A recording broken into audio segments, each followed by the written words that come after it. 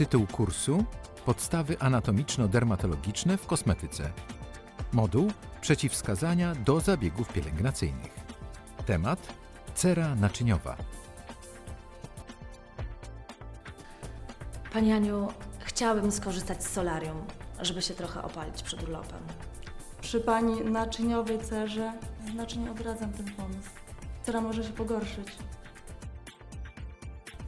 Cera naczyniowa to cera bardzo wrażliwa, która źle toleruje skrajne temperatury, nie znosi przegrzewania.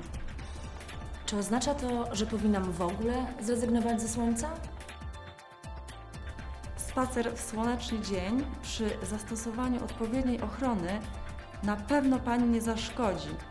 Jednak wystawienie się na tak silne promieniowanie jak w solarium uszkodzi ściany naczyń i sprawi, że cera będzie jeszcze bardziej zaczerwieniona i bardzo trudno będzie to zniwelować. Przebywając na słońcu, powinna Pani używać bardzo wysokich filtrów i nie dopuszczać do przegrzania organizmu. Cera naczyniowa charakteryzuje się płytkim położeniem naczyń krwionośnych, które znajdują się tuż pod naskórkiem. Z tego powodu łatwo ulega zaczerwienieniu i jest bardzo reaktywna w stosunku do czynników wewnętrznych i zewnętrznych.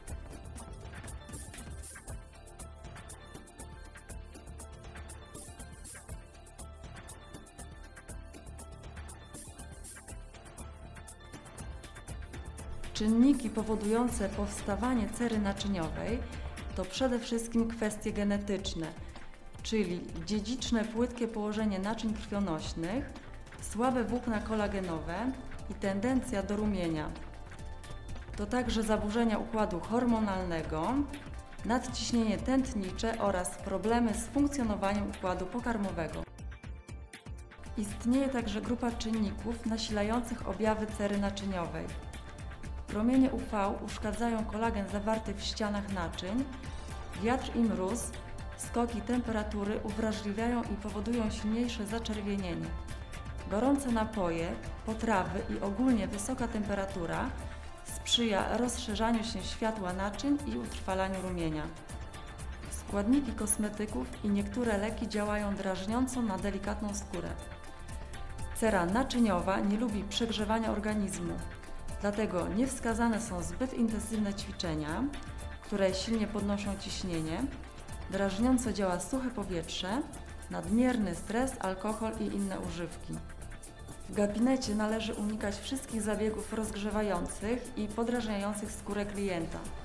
Stosować preparaty wyciszające i łagodzące, zawierające substancje uszczelniające naczynia krwionośne.